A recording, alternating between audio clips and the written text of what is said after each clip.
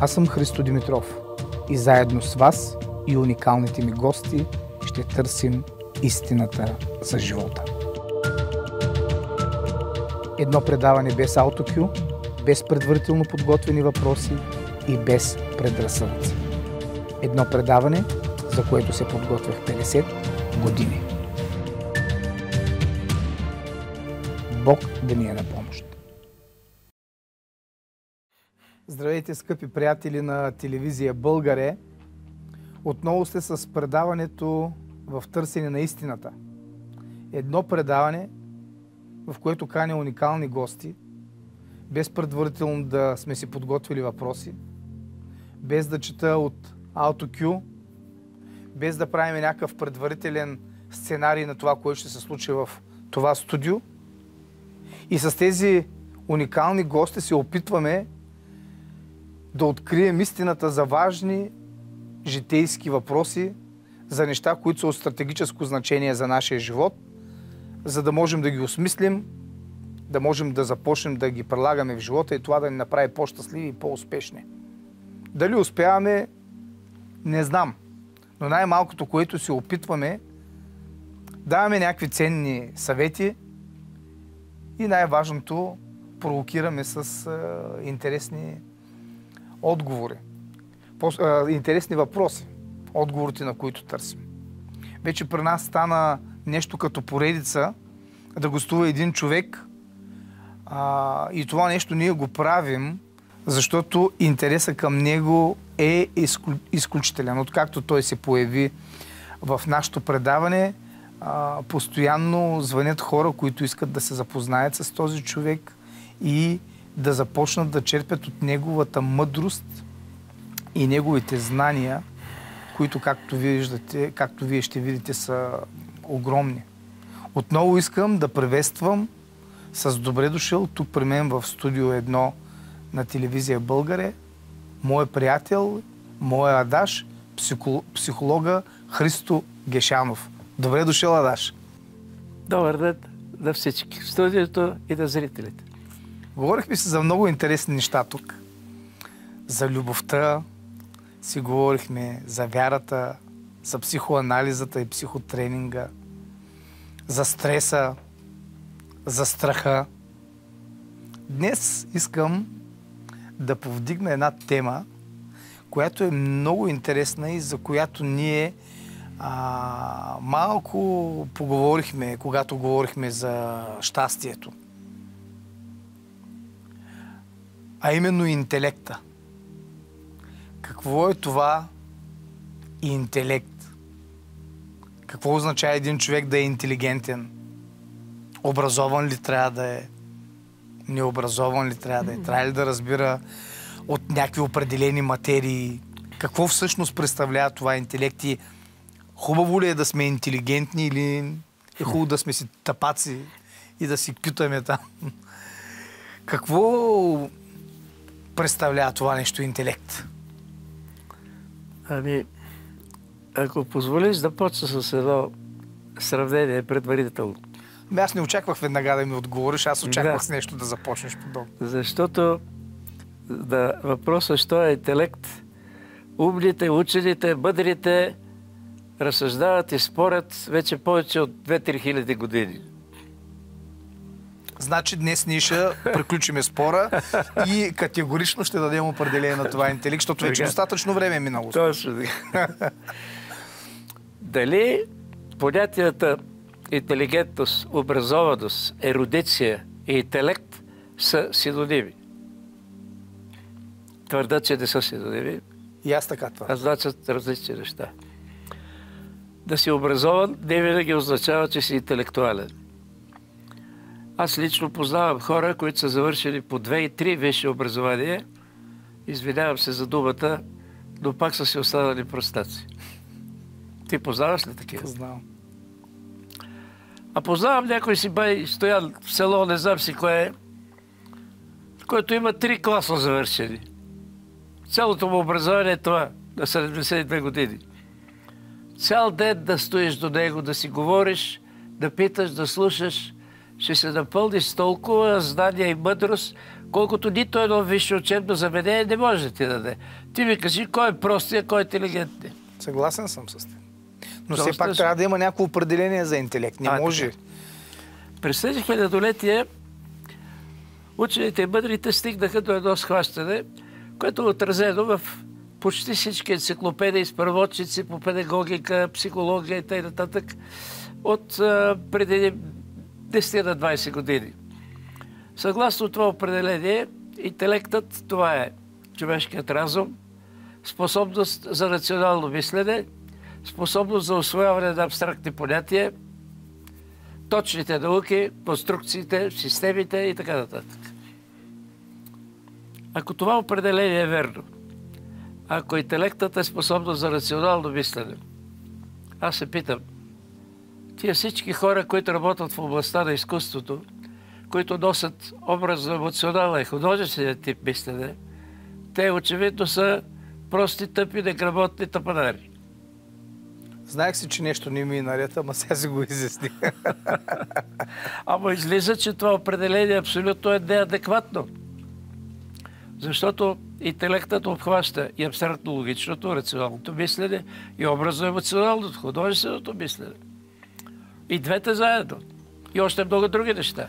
Аз си го спомням това нещо в а, седми клас бях в трето основно училище в Шумен, когато учителката по математика каза следното нещо. Запомнил съм го. А, за да един човек да се каже, че е а, интелигентен, трябва да му върви математиката. Точно това бяха нейните думи. А, по всяка вероятност тя го е казала, защото преподава математика. Може по някакъв начин да е искала да ни мотивира да учим математика. Но а, това беше а, нейното изказване. Оказва се, че не е така. Така ли я даш? Така, това ли ми казваш, че не е математиката? Може да ти върви изобразителното изкуство и пак да си интелигентен. Не, ако ти липсва едната половина, ти си половин човек. Света се състои в обществото си или от леви човеци, или от десни човеци. В зависимост от това, коя полусфера доминира. Абстрактно логичното мислене, както е при повечето мъже, или образно емоционалното, както е при повечето жени. А къде е вярата? Истината е, че творческият подход е една искра, която приплава, когато са хармонично свързани двете полукълба. Тогава си способен на творчество. Ако си само ляв човек или десен човек, в най-добрия случай ти ще бъдеш един отличен изпълнител. Но ако искаш да си творец в живота, трябва да се ти развити еднакво и двете полукълба. Но, нека да се опитам да ти дам най-съвременното определение, пък тогава да разсъждаваме. Преди повече от 30 години излезе една книга на един съветски учен, Юлиан Шейдин. Той е философ, но има отношение към психологията. Книгата му беше озаглавена Интегралния интелект. За него интегралният интелект е едно, както той прогнозира бъдещо, абсолютно обединение на човешкия интелект и изкуствения интелект. Компютъра. Двете заедно образуват интегрална система. Но в тази негова книга той даде едно съвсем първоначален потик, за да се изгради съвременното определение на понятието интелект. Много е кратко. Интелектът е човешка способност. Изолираме се вече от животинския свят, където всичко е инстинкт. Интелектът е човешка способност за самостоятелно ориентиране, за съзнателна самоорганизация и самоуправление. Доколко ти си способен самостоятелно да се ориентираш в тая необятна вселена около тебе и в тая необятна вселена вътре в тебе. Как изграждаш отношенията между тия две вселени? Ти си епицентъра.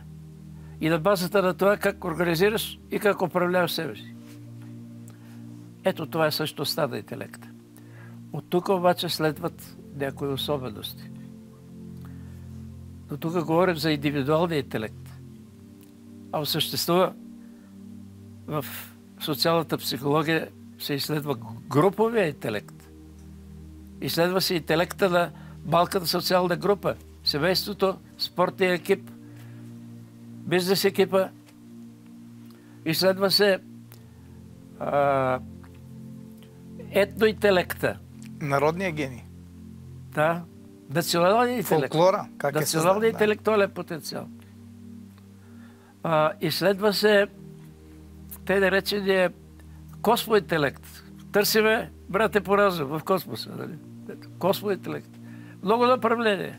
На практика, науката за интелекта, интелектологията, вече се превръща в една интегрална наука.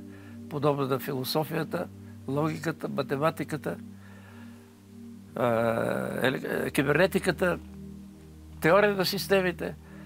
Ползват информация от всички науки, а техните препоръки се ползват от всички науки.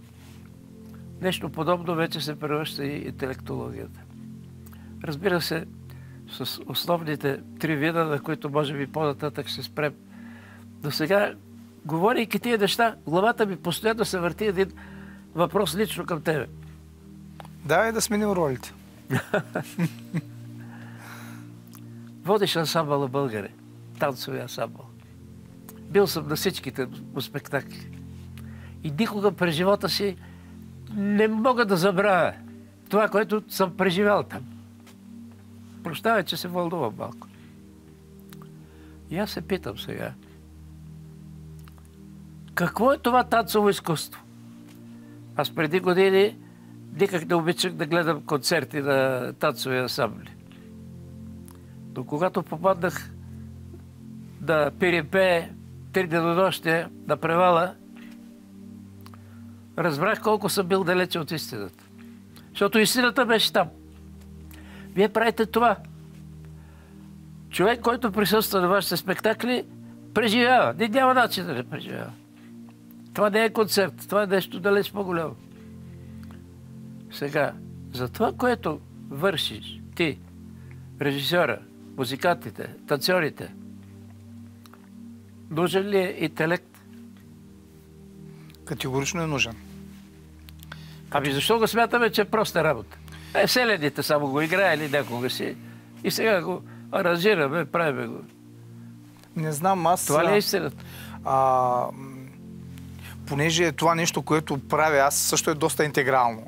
нали, съчетавайки хореографията, режисурата, сценария и така нататък. И може би това е най-голямото им богатство на мене. Вчера говорих с нашия балет майстор и той а, ми каза, шеф, не знам дали си най-големия хореограф, но си уникален режисьор. Нали? Той, това нещо, което аз съчетавам нали, а, в мене толкова много неща, ми помага да успявам въпреки, че не съм най-добрия в всяко едно от тях. Има много по-добри във всяка една отделна област, но при мен те са съчетани. Това нещо се е случило случайно. Аз не мисля, че имам някаква заслуга за това. Мисля, че това е дарба. Моята заслуга е, че работя като идиот. Аз работя много. Работя къртовски и работя с невероятна вяра. Значи моята вяра е много силна и това е нещото, което ме води напред. А, баща ми беше гениален музикант. Но аз а, си бях купил купчето на Рубик. На времето имаш. И ни бяха научили ни формули. Двоен Джонсън, единичен Джонсън, въртиш така, така, за да можеш да го подредиш. Нали? Не беше никак лесна работа. Беше, са, всички са бяха побъркали. Трудно. Влизам в къщи и почвам да въртя въпросното купче. Влиза той. Ви какво правиш? Въртя тук купчето на Рубик. Кой е това купче? Ми, купче на Рубик, така е игра, нали? Може ли да го видя? Викам, чакай, ще го щупиш, не се върти така, спокойно, ето това се върти. И какво трябва да направиш? Ми трябва да, да го а, направиш, нали? Обяснявам.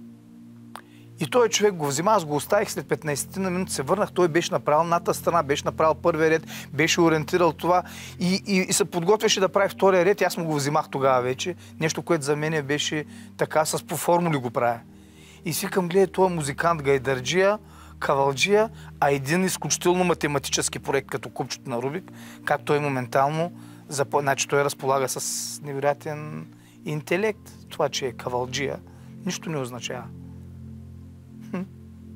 Помниш ли, че на времето един музикант, Меноти, стана тренер по футбол и изведе Аржентина като световен шампион. Не, не си го спомням това.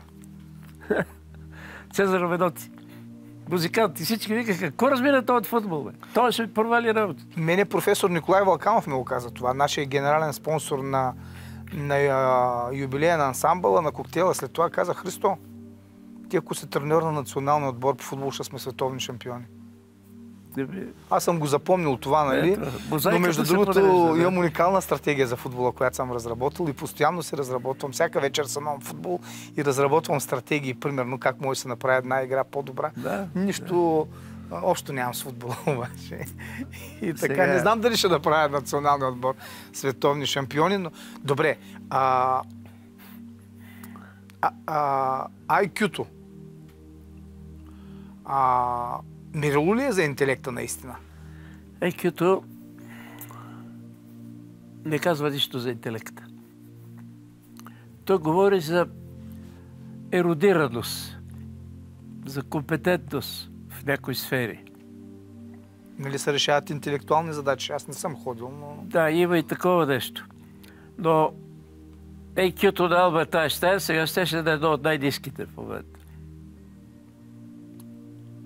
Значи нещо не е съвсем така. Какво на а, IQ-то на? Алберт Айнщайн Аха. щеше да е едно от най-низките в момента. Защо? Защото на две трети от въпросите той нямаше да може да отговори. Гениален начин. А, и още нещо, което в хода на разговора не трябва да забравяме нито за миг. Латинската дума интелектус. Значи интелект. А латинската дума genius, гений, означава дух. И когато ти говориш за дарби, очевидно трябва да има дарител. Е, очевидно. След малко ще поговорим за дарителя. Искам една кратка пауза направим и ще ти задам Добре. въпроса конкретно. И аз още нещо да ти кажа.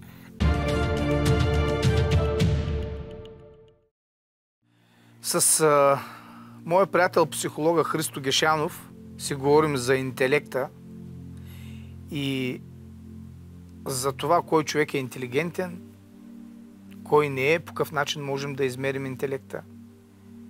И идва сега въпроса някой дава ли ни го този интелект? Как го получаваме? Генетично ли е? Можем ли да го развием? Можем ли да го увеличим? Може ли да съм е толкова интелигентен и да стана толкова интелигентен? Самия интелект в някаква степен обединява, интегрира в себе си всички останали елементи на индивидуалната психика. Познавателните процеси, те са 8. Емоционалните процеси състояния, те са 7. Темперамента с неговите 4 вида. Основните свойства на личността, те са 4. Навиците и привичките, унаследени и придобити. Всичко това се обединява, интегрира в понятието интелект. Чакай, темперамент, какво общо има с интелекта? Иван Петрович Павлов, който изследваше процесите на висшата нервна дейност, Кучетата, да? да, и се определиха тези четири вида темперамент.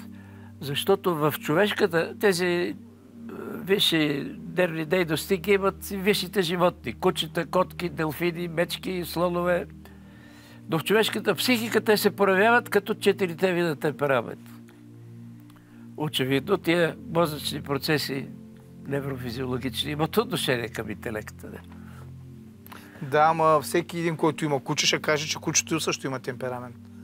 Да, ама по това се различаваме от тези процеси. Бързината, силата, дълбочината на тия пет процеса на висшата нервна дейност. Но мисълта ми е в нещо друго. Че ако интелектът обединява в себе си тия всички процеси, за, тях, за всяко едно от тия елементи може да говорим часове наред. Обаче, ето ги трите неща, от които е, се състои човека. Тяло, душа и дух. Тялото анатомията и физиологията. Това, което лекарите наричат общо соматика. Душа, човешката психика. Гръцката дума психика значи душа. И дух е това, което Бог е вложил в Адам при сътворението и което той влага във всеки човек при неговото зачатие. Сега, в единството на телесно и психично водеща роля играе психичното. Няма тялото да ме командва мене. Аз ще управлявам тялото. А в трите неща, в единството на трите, няма обстоятелствата да определят моя живот. Аз ще определям обстоятелствата. Това е интелектуален процес, нали? Това е много интересно, обаче тук влизаме в една друга е тема. в една друга тема влизаме, която отива цяло едно предаване, ако влезем сега в тази тема. За нали? избора, сигурно. Да, за избора и Разбира какво, се. какво ние правиме и така нататък. Да. Защото аз вярвам, че имам една такава... Аз се си пиша някакви сентенции, които сам си ги измислям. Моята дъщеря сега се ангажирала да ги а, качва във Фейсбук пространството. Да, да ги споделя. съберем, да ги издадем като И едното, едното, е, едното е следното, че духовното, материалното, социалното и здравословното състояние на всеки един човек, като се изключат форс-мажорни обстоятелства, зависи само единствено от човека. Това е нещо, което аз твърдя. Да, съгласявам се с тебе веднага. Тоест, а, бедния да не завижда на богатия, а, болния да не завижда на здравия, а известния да не завижда, безизвестния да не завижда на известния на хората, които ги обичат, нали? И бездуховния да не завижда на духовния, защото просто нищо не му пречи той да стане такъв. Да. Да стане духовен. да. Ема то се богат, ми стани ти богат. Ема то се е здрав, ми стани ти здрав. Направи необходимото, което е необходимо да, да направиш. А, както и да е, отклоняваме се от темата. Въпросът е, въпросът е, че хората се различаваме и това опира до основните видове интелект. Ако позволиш накратко да ги очертая. Да, да, как? Ако ти си завършил, да кажем, химия и цял живот продължаваш да работиш в тая област, ти ставаш един все по-тесен специалист, експерт. С всичките минуси на тесната специализация. Огромни минуси, наред с плюсовете. Ако ти обаче си способен в твоята специалност, за твоя проект, в твоята разработка, да привличаш информация, методи, средства от други области, това означава, че ти прилагаш комплексния подход и си носител на комплексния интелект. И на трето място, ако ти познаваш, владееш основните области на човешката дейност, не са много, 21. Наука, изкуство, техника, спорт, здравеопазване и така нататък. Способен си да работиш професионално в тия всички области. Това означава, че ти прилагаш интегралния подход и си носител на интегрален интелект. Това е интелекта на най-универсалния ум на древността Аристотел. Това е интелекта на цяла плеяда творци от италианския ренесанс, начало с Леонардо да Винчи. Това е интелекта на Леонардо, на един Ломоносов, на един а, Айнштайн и на много други. Човекът, който прилага интегралния подход, е способен, както се казва от високото, да види детайли, които тесните специалисти не могат да видят. Уникално е това, тая способност на интегралния интелект. Тоест, Интересното е, че обществото има нужда и от трите типа интелект. Защото интегралният интелект ползва информация, методи, добити от тесните специалисти, нали? И без тях той е нищо. не може да. Е, въпросът сега как да развира човек собствения си интелект. Как да го обогатява. Това е една богата, много интересна тема и ще спрем сигурно да не е. Е, да. Но всеки човек трябва да погледне в себе си и да се запита, кое ми е най-интересно да мене. То е тясно специален подход ли? Или комплексното, или интегралното. Това, което му е най-интересно, което е най-предразположен, това е критерий, това е сигнал, че там са му дарбите. И там трябва да започне вече да дълба и да работи. И така обществото ще получи хора и от трите типа. За да могат да си взаимодействат. Точно това е целта. Но в действителност големите постижения по всяка вероятност а, ги правят хората, които имат интегрален подход. Защото гледай, сега си мисля, а, миналия път, като ми говореше за спортистите. Значи той спортист един път спортува, обаче после се използва химията, влиза науката, нали, защото му забъркват някакви неща, които той пи. Да. После влиза психологията, защото той ляга, почва да, Да. прави нещо. И, После и лекаря да отбъде. лекаря, медицината влиза и когато се обединят всичките тия неща, и става световен шампион. По всяка вероятност има и духовното. Защото то застава, да кажа, аз не съм виждал някой невярващ футболист. Всички футболисти, като излизат на терена, И се кръстят. се кръстят, целуват козе. Няма невярващи футболисти. Всичките са по някакъв начин. И някой път наистина стават чудеса на терена, които не можеш да си ги обясниш, нали, Да, да. да са толкова. Тоест, а, означава ли това, че ние, ако искаме да постигаме големи постижения, трябва да използваме интегралния подход? Сега, има си постижения и те са специални. Тоест, не означава това, да. А, ако твоята дарба е тясна специалност и ти продължаваш там да работиш, там също се различават. Там има, да кажем, музикален интелект. Там има научен интелект.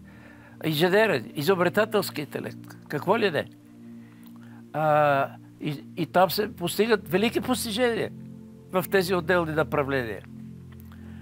Но ако търсим някаква глобалност, глобални резултати, общо човешки ценности да се създават, там водеща роля играе интегралния подход. Да, да, аз знаеш ли колко познавам колеги мои лични, нали, които са ми били приятели.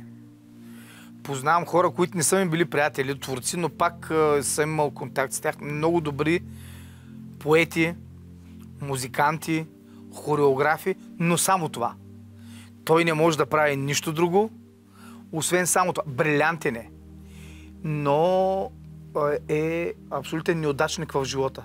Защото той нито може да се продаде, нито може в живота да, да си направи пиар, нали? Ни...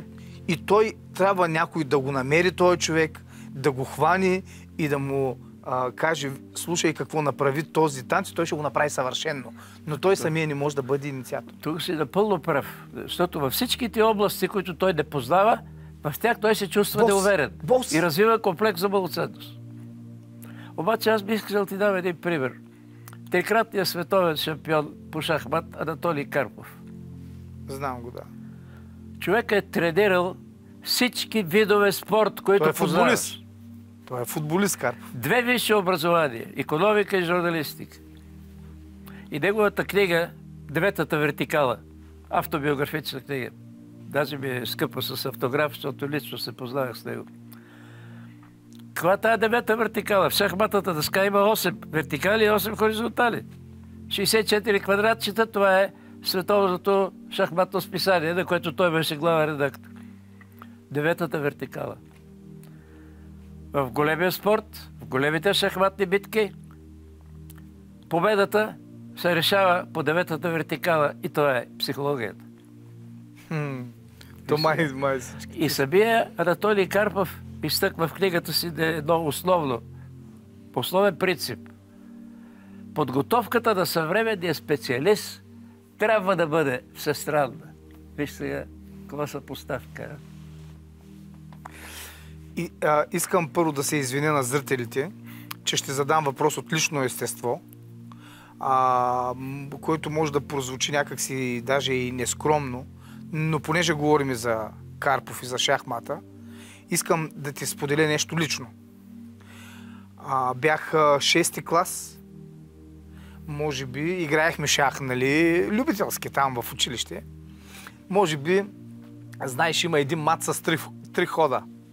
Нали, първи ход, втори ход, на третия ход е мат. Нали, това е така. И Известно. всички, да, това е известен. Той е много известен, много популярен.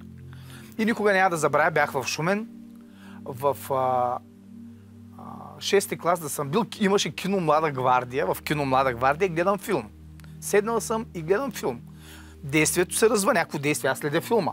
Нали, детенци гледа филм е така. И в този момент в моята глава ми идва мат с два хода, докато гледам филма. Обръщам се и казвам на този, слушай, кой има мат с два хода? И той вика, чакай бе, гледаме филма сега. Излизам след което и казвам на моите приятели, абе, има мат с два хода. И те казват, не, най-бързия мат е с три хода. Тая така, офицера така и дамата бам и край и това. Не, има са. Не, не, не може да има. Так, седнахме и аз съм го направих. Мат с два хода. Обясни ми какво се е случило в моята глава. Първо не съм шахматист. Второто нещо, което е а, гледам филм в момента. Трето нещо, което съм танцорче нали, по това време. А, и въобще не мисля за никакъв шах. Кажи ми, какво е това нещо в моята глава, което е влязло. Много се извинявам, че правя така, а, такова отклонение от темата. Знаеш ли, това е а, уникално явление. Нарича се подсъзнателна интелектуална дейност. С една дума се нарича интуиция. Искаш ли да направим едно отделно предаване, за да видиш какви феноменални неща има там? Следващото предаване ще направим за интуицията. Окей. Okay. И тогава ще разбереш какво означава това. Нито го търсиш, нито го искаш, нито го мислиш и го получаваш. Да. В един прекрасен. Да. Добре, Господ намесен ли е тук? Ами няма начин да не е, защото той не е създал такива. Всеки човек ли го има? Всеки човек го има. Ето, да ти кажа... Свързано ли е с интелекта? А, свързано е. А, един от водещите руски учени, академик Бодифати Кедров, самият той е интегрален интелект, да не ти изборявам с какво се е занимавал. Дълги години беше директор на Института по философия на Съветската академия. Но той изнася в България няколко лекции в големия салон на БАМ и аз там му зададах въпрос. Какво е вашето мнение за гениалността? Ето неговия отговор. Да изуст го знам, защото съм си го записал в дневник.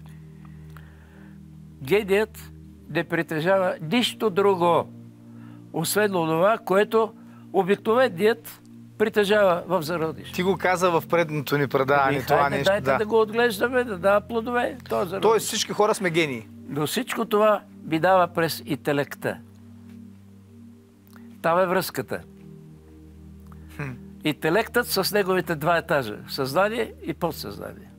И пак опираме до интуицията, до айде на друго Добре, гениите, гениите по-интелигентни ли са? Не винаги. Не винаги. Ето го един Хенри Каведеш, френски учен, който открива кислорода едновременно с Ломоносов. Един затворен, брачен субект, не общува, те са специалист. Гениален в своята тясна област. И там има гений. Сигурно не може да си купи хляб от магазина. Ако отиде там, ще се обърка и няма да може да излезе от магазина, няма може да се оправи къде. Аз познавам такива хора. Нищо друго не може. Не може да си купи хляб. Обаче е уникален творец, примерно. И в живота той е пълен неудачник в живота, както и да го погледнеш, го виждаш, той е един. Ето, там Обаче е брилян. Значи, като вземе да ти рецитира, като вземе да ти просто е... Истината е, а, как да ти кажа, айде още едно изречение на Алберт Айнштайн. Той казва, има хора на този свят, на които им доставя удоволствие да маршируват под звуците на военната музика. На такива хора главен мозък не им трябва, гръбначите им стига. Сега доста остро изказване против военните. Аз а, а, смятам, като проучвах подробно живота му и отношенията му, а, че той говори именно за някои тесни специалисти, които само това знаят. Да. Да маршируват и нищо друго. За тях го казва. Искам да ти задам въпроса дали можем да увеличим нашия интелект, защото знам, че сте го Да. правили това нещо с космонавти, но това ще го направим след едно кратко прекъсване. Добре.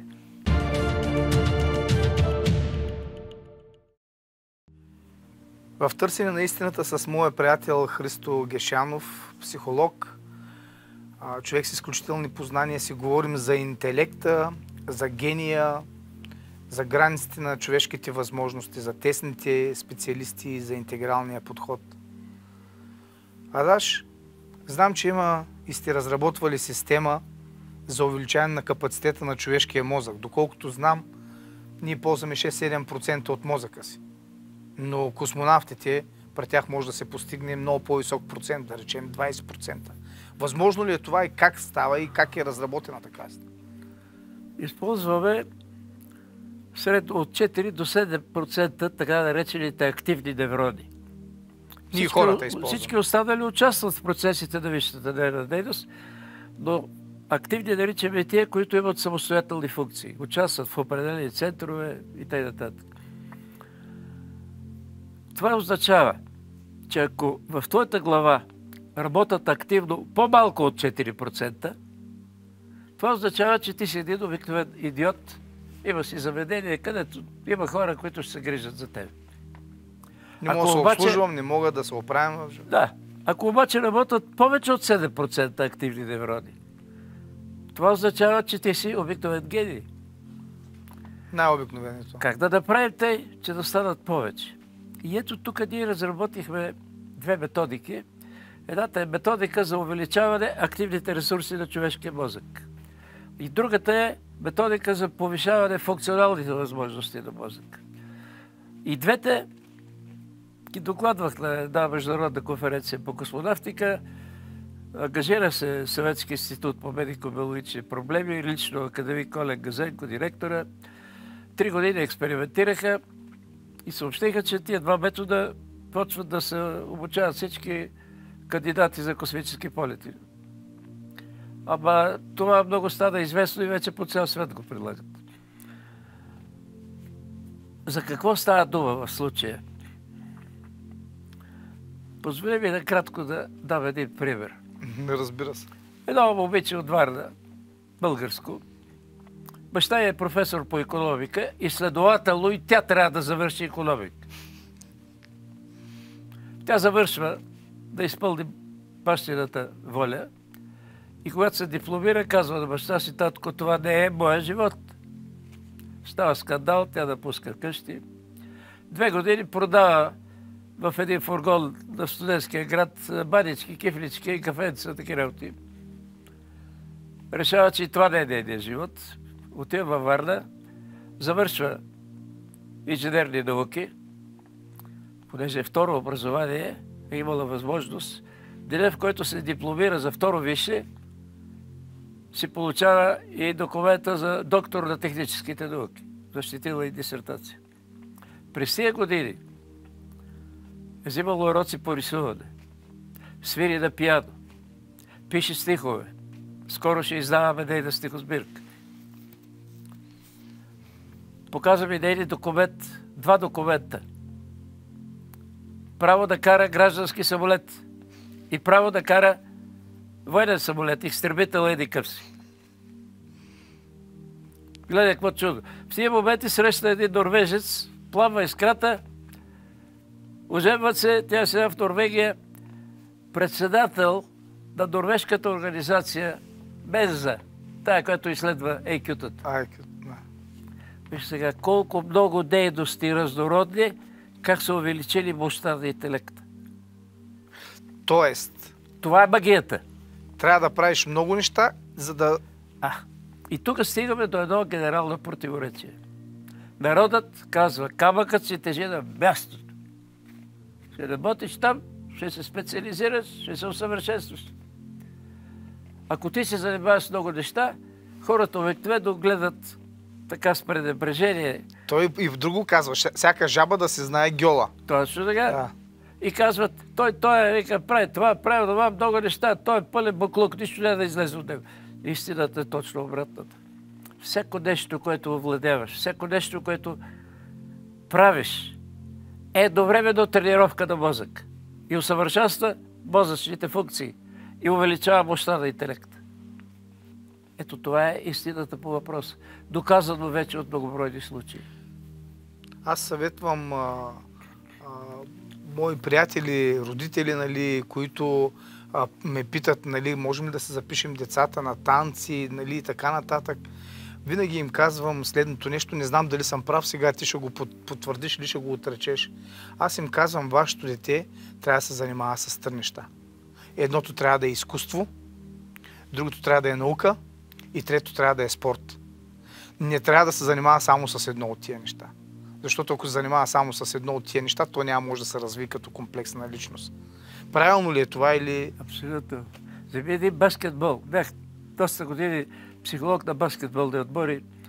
А, Балкан Ботевград, след като работил година и два месеца с тях, за първ път в историята на българския баскетбол провинциално отборче победи Софийските градове и стана републикански шампион. Как? Беше нещо уникално. Обаче, баскетбола, кажи ми колко процента е наука, колко процента е спорт, колко процента е изкуство. То е едно от тези трите неща. Тук си абсолютно точен. Да. Това мога да го кажа не само за художествената гимнастика, и за футбола въжи. И за всеки вид спорт въжи. Ако пише с дясната ръка и почна да, пише, да, се, да, да се учи да пише с лята, това ще увеличи ли интелекта ми? Е, това е същността на нашия първи метод. Работейки с недоминиращата ръка, с писане с лявата ръка, няколко месеца се искат. И се чудиш от начало, чужда ръка нещо изобщо не се подчинява. И трябва като първолаче да се учиш. Работата е там, че на кръст се управлява. Лявото полукълбо управлява дясната, дясното управлява левата. Тук е речевия блок. Тук е двигателният център, който управлява дясната ръка. Тук има същите два блока, ама те са резервни, спящи. Като почнеш да движиш левата ръка, ти активираш двигателния център, а двигателния и речевия център са комплементарни. Тоест, е така взаимно се препокриват. И активирайки един, ти активираш другия. И така се активират нови 5-600 милиона девствени нервни клетки, които от пасивни стават активни. Ти вече не си с 7%, а си с 10% или с 15% активни неврони в мозък. Фантастика! И са поне 100 души в България има вече, които това постигнаха и се очудват на себе си. И близките им се чудат. Въпрос на работа. Значи ние има и на предвид, че в а, а, танците изискваме всичко да се прави с двете ръце едно и също. Значи, когато правиш с дясната, трябва може да го направиш абсолютно също с лята, абсолютно по също. Значи не, играеш го огледално. Нали, играеш го първо с десния крак, после го играеш с левия. Нали, това, това е, означава, това... че това нещо помага и танците, т.е. помага, способстват за увеличаването на интелекта. Това е същността на втория метод. Да. Функционалните възможности на мозък. Всяко нещо, което умееш с дясната, да учи и левата. Да режеш хляба, а сега и с левата. Да прасника иглата, а сега я смени местата. Тия, които свират с две ръце на пианото, които работят на компютъра, те са облагодетелствени едни, бълшинството хора, около 90% са десняци, останалите леваци. А има амбидекстри се наричат, които работят еднакво с двете ръце. Това е оптималното състояние. Интересно обаче как интелекта не е свързан с успеха. Защото, виж, много интелигентни хора, които могат да правят уникални неща, не успяват да се справят с елементарни неща в живота. Трябва да го разгледаме това нещо, трябва да го разгледаме в специално предание. Защото хората на практика, аз не знам хората какво искат, аз знам аз какво искам. На първо място, категорично, това ми е първото, е да бъда щастлив това искам. Независимо какво означава, ние говорихме на темата на, за щастието, говорихме, но да бъда щастлив. А второто нещо, което е, а, искам да бъда успешен. Значи неуспеха ми тежи на мене. Ама неуспеха тежи на всеки. Ти, ако знаеш, четири души да играят карти, единия да падне, там двама да паднат, нали, двама да победят. Такъв значителен неуспех. То е толкова дребничко това. То няма никакво значение за предизвиква так, такива, някой може да не може да спя. Имам такива приятели, дете не могат да спят вечерта, нали, от това, че са паднали на карти заради такъв древен. Тоест, ние всички хора искаме да бъдем успешни. И какво се оказва? Че въпреки, че си развит, имаш много развит интелект, можеш също да бъдеш неуспешен, защото можеш да се провалиш в някои неща в живота, като примерно брак, бизнес, а, не знам с какви неща. Трябва специално да си поговорим, може би, и за темата за успеха. Защото келфа е да ти да развиш много голям интелект, ако не можеш да бъдеш успешен. А пък да бъдеш щастлив, за какво ти този интелект, ако не можеш да бъдеш си много интелигентен и нещастен? Аз бих ти предложил всичко, което казваш, е директно свързано. И бих ти предложил, дай да направим едно предаване за гения и гениалността. Ще направим. И там, то е нещо като продължение на интуицията, между другото. Добре, не, то е ясно, че ще правим поредица, защото ние колкото повече говориме, единственото нещо, което излиза тук не са отговори, а са въпроси. Нали? Приказваме, притърсим и отговори, е, само, отговори, да. само въпроси излизат. Да, да, да. Разбра какво искам да ти кажа. Да. А, добре. А, искам пак да се върна към интелекта. Всички се раждаме гении. Като потенция. Като, потен, като потенциал. Да. да, аз съм чувал също подобно нещо. Всички сме гении, докато не навършим 10 години. Обаче се спомням в нашото училище, имаше отличници, хора, които бяхме 40 деца в класа. Имаше някои, които оставаха на занимални допълнително, не можеха да освояват материала. Трябваше другите деца да им помагат. Да, да, да. да. Те са по-неинтелигентни ли? Те не могат да се справят с тази работа. Не. А, има такова нещо. А, аз определям човешкия потенциал в неговите три същности. Това, което ти си получил по наследство от майчина и бащина линия, като генетика, това наричам резервен потенциал.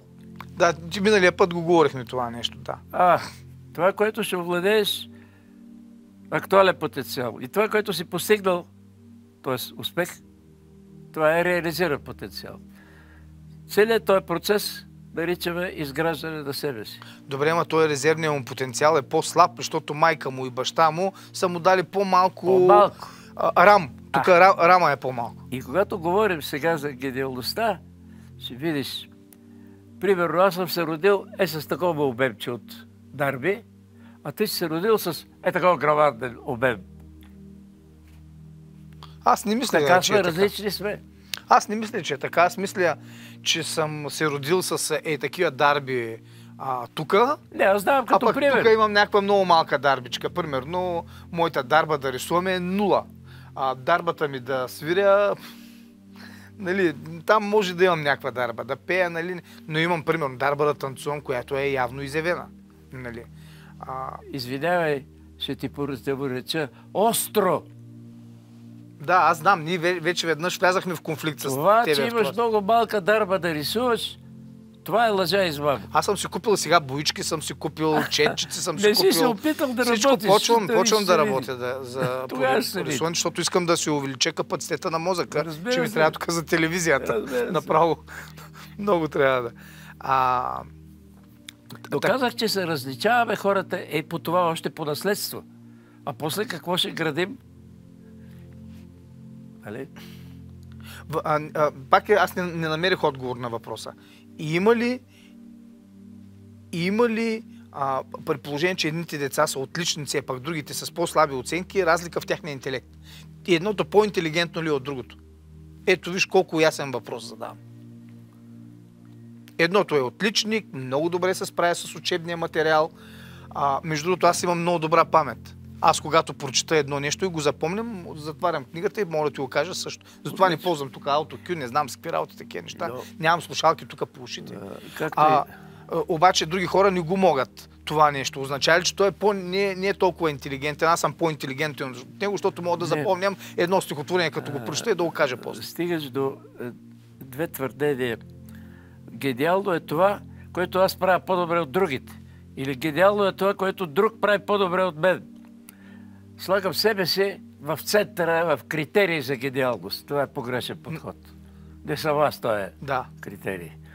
Но можем не, да аз просто дадох пример, не съм се поставил в център, просто дадох пример. нали? да Искам да задам въпроса правилно. На тая възраст, 9, 10, 12 години, преди пубертета, още нямаме изграден интелект. Съгласно определението за трите неща. Ориентиране, организация, самоуправление.